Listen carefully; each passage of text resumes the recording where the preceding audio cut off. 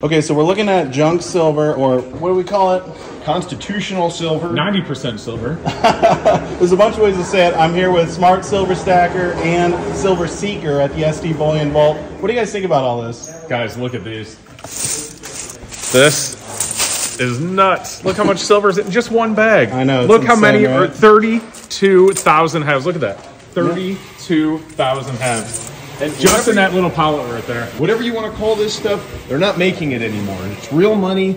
It's 90%, and it's one of my favorite things to stack. If you want to stack something that has historical value, it's going to be fun. You can teach your kids about silver. 90%, definitely one of the best ways to go. Uh, plus, it's real money and always will be.